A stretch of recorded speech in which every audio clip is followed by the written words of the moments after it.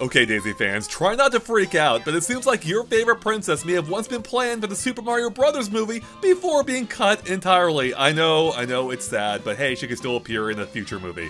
So hey everyone, Andre here to check out some brand new concept art, or at least recently discovered concept art, for the Super Mario Bros. movie, showing off some ideas explored for the film that we didn't know about before. So this all comes to us by way of a portfolio posted online by Jed, Diffenderfer, I hope I said that right, I apologize Jed if I didn't, uh, which uh, has a whole bunch of um, concept art he created for a variety of films he's covered, including Wreck-It Ralph, uh, Secret Life of Pets, a Minion short, and of course, the Super Mario Brothers movie. And there are some really interesting stuff here. Let me go ahead and go to the uh, full Mario Brothers page here. And actually, there's a little bit more than this, um, including a couple of videos showing um, like a pre-viz animated sequence for the Mario Kart scene and Mario's introduction to uh, Princess Peach, or more specifically, sneaking into her castle. Both of which are a little different from the final film, though a little bit similar. Um, unfortunately, we can't show you those videos because they very clearly say don't record or reproduce them in any way. So if you want to check those out, click the link in the description below. But again, they're overall very similar, except um, Mario entering the castle is done without the aid of Captain Toad, as far as we can tell. He finds a secret platform or a floating platform that takes him up to a tower. He enters, and uh, that's how he encounters Princess Peach eventually that way. Although not before uh, trying to get in through the front door, where the Toads, the Toad security guards, rudely make fun of his mustache, calling it disgusting. What? No wonder they cut it. Alright, so again, we can't show those to you, but as far as I can tell, we can show you the rest of this concept art because it doesn't have the same warning, so fingers crossed. Alright, here we go. Let's go through it. And there's some really interesting stuff here. Let me go and get myself out of the way so you can all better see this. And, um, I already prearranged them in a in a uh, manner that loosely corresponds with the film because, as it turns out, a lot of this concept art is actually pretty faithful to the overall structure of the film, though individually the scenes do have some key differences. So, right, uh, so of course, we're starting off with Bowser stealing the Superstar from the Penguins, and again, in a scene very similar to the final film, uh, Bowser standing atop a melted carcass of the castle. I guess we can see the King freaking out here. Uh, we can see the bombs flying around, which weren't featured in that scene at all, along with these fireball uh, enemies from Mario, which again weren't seen. And uh, Fire Bros too uh, are helping them melt the ice and also catching this poor penguin on fire. So again, overall idea is similar, but the mechanics or the characters are, are a bit different. Um, but ultimately, Bowser grabbing the Superstar is the same. Moving on, we get what appears to be either our introduction to Mario and Luigi or more likely a flashback uh, to them as teenagers, so I don't know if this would have been how they would have introduced them, or if it will come later in the film. The final film did have a flashback, of course, but it was to them as babies. Here we can see them uh, looking like they're shaving or doing manscaping, I guess, uh, in the mirror together. Um, and I like how Mario is holding a full pair of scissors or shears, which is unnecessary for the amount of facial hair he actually has at this point, uh, you know, being a teenager. Um, Luigi, is he using a fork, like uh, Little Mermaid style, to manage his mustache? So this is kind of a cute idea. I don't mind that was cut too much, uh, so to speak.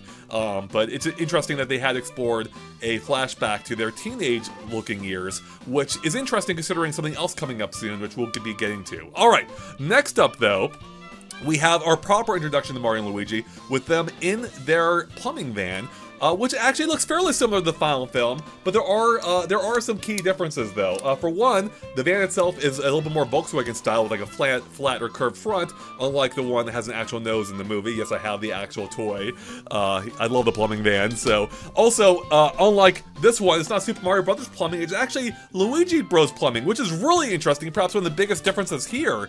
And we actually have seen, I forget we've seen this exact concept art before, but we have seen things similar to this. So I wonder what ideas they were fully fully exploring. We can even see Mario and Luigi acting a little bit different, with Luigi being laid back, super, um, like, really casual, and not at all worried, unlike his movie portrayal where he's worried constantly, and Mario actually looks to be the one who's a little bit more anxious in this case, so really a complete reversal of roles. Also, the license plate is a key little easter egg, with ML for Mario and Luigi in 1983 being their first appearance together in the Mario Brothers arcade game, which came out in 1983.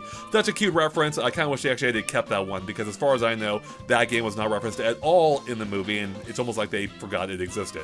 All right. Uh, also, there's a dog in the car next door. Is that Francis? Who knows? All right, let's continue on.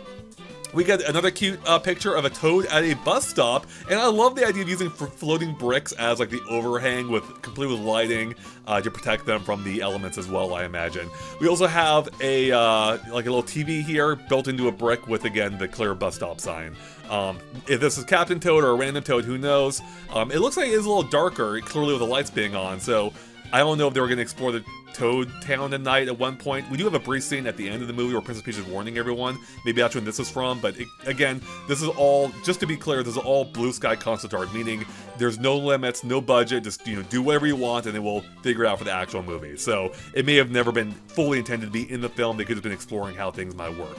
Uh, moving on, we get a look at something else I feel like we may have seen before, or something similar, with Mario sneaking into the castle, to finding a warp pipe seemingly below the bridge. This is different from the video he has posted on the website itself, or sorry, on the same website I've linked to. Um, so it's interesting they seem to explore a couple of different ideas for Mario entering the castle. Again, he found a warp pipe here, which is fitting enough. Uh, the video shows them finding a hidden platform, but ultimately in the final film, they sneak in through the front door. So uh, next, here we go. Here's what we've been waiting for. Daisy right there, a young Daisy seemingly. Gotta love like the 70s, 80s style hair, I guess. Along with Princess Peach at the Mushroom High Prom. We can see Toadette alongside them too. Also with a baby Bowser, like a younger Bowser running away, holding the same fire flowers or similar fire flowers to what he did to, uh, to propose with. Those were prom plants, but similar idea. Very cute. Bowser's left in tears. So it seems like they were once exploring a concept in which Bowser felt burned, so to speak, uh, from an experience earlier with Princess Peach. And maybe that's what drove him later on, either to, you know, try to get back with her or get revenge on her. Again, it seems like the story details are a little bit different at some point. So this is really cute. Also, by the way, shout out to Mouser from Mario 2, a guy we haven't seen in forever. So love that he's back. Also patting this weird looking Goomba guy. So, um, and also you can see various other, you know, Mario enemies here too. We got Charging Tux, Charging Chucks. We've got uh, a Hammer Bro, uh, Birdo, Shy Guys. So it seems like at some point they had planned for everyone to be getting along, you know, very friendly like, as kind of like an origin story for Bowser. Um, so this is all, again, just really interesting that they explored this. I don't know if I love this idea or not. I think it's cute seeing it here. Um, but it does show how Daisy was at least once planned for the film. Also, a little shout out to their sporting uh, days uh, with the tennis racket in the um, when their lockers there. So again, really cute scene. Obviously, it's a shame we lost Daisy in the process, and it would have been fun to see them as their younger selves. But clearly, they completely discarded this concept for the final movie. Um, as you know, we see you know we see Peach enter the Mushroom Kingdom through a warp pipe, and there seemingly is no like collective school that everyone goes to. All right, we're gonna move on here to the next scene uh, where I assume this is what would replace the prison sequence from the movie, where they end up, you know, in the cages above the lava. In this case, we can see the Penguin King looking very different from the final film, actually hilariously looking much bigger here, as he joked about at the beginning of the movie. So they totally changed the concept of that. We can see Kamek here, uh, functioning similar as well, but riding not on his broom, but on the Mario World style, like, skull platforms, which is interesting. We also have a ton of Shy Guys here. Uh, we have a Beanstalk. We've got some kind of Koopa sign above. I don't know what that's about um, or door, I guess. And again, it's all above a pit of lava. So they're clearly like torturing him. I don't know they're trying to get information from him. Um, and again, I assume this is the jail cell replacement sequence, but it could have also been earlier in the movie too, to maybe to correspond with the opening se sequence. Um, so I definitely prefer the movie's version of this, uh, from what I can tell, unless this was intended to be something totally different. But again, we can see Kamek using the magic power, just like he does in the final film, and uh, it really does seem like they're threatening this guy. So, look at the lights emitting from his eyes, jeez. So this might have been a little darker, perhaps, for the movie than they intended. Alright, next up, we have what appears to be the final battle scene. I assume it has to be the final battle scene with a ton going on. Uh, there is there's more enemies here uh, than even in the final film, which is crazy. More enemy types at the least. Uh, We've got, you know, Bullet Bills. We got King Boo, who made appearance at the wedding. We've got Mario stomping Bowser up here. We've got Toad riding a blue flying Yoshi. Again, a reference to Mario World. Down here, we've got Daisy again riding a Wiggler, showing she wasn't just going to be in flashbacks. She was going to be a prominent character in the film. We have uh, Princess Peach with her Super Princess Peach umbrella on top of the thwomp, which did not appear in the final film. We've got Toadsworth down here, baby. I just noticed that riding a green Yoshi. We've got the uh, the snow guys. I forget what they're called from the Snow Kingdom. We've got Spike here, a giant Spike, of course. We got Pokey, another uh, Charging Chuck, Chuck down here. We have, uh, what else do we have? Uh, a Fire Bro, Toadette down here. Again, a lot of penguins involved in the final battle.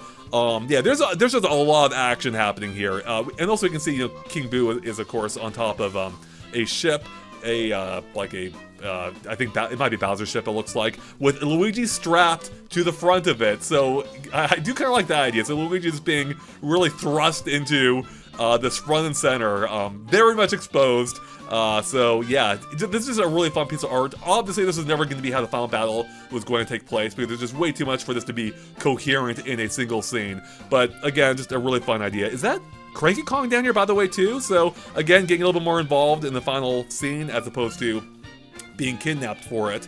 Uh, yeah, so just all really interesting. Now I think we have one, at least one piece of art left. Actually, no, I'm sorry. That was that was it. So yeah, there you go, everyone. That is a look at the concept art for the Mario movie, um, specifically eight pieces. Again, there are two videos on the website as well, so you can definitely check this out if you want to take a look at some more changes to it.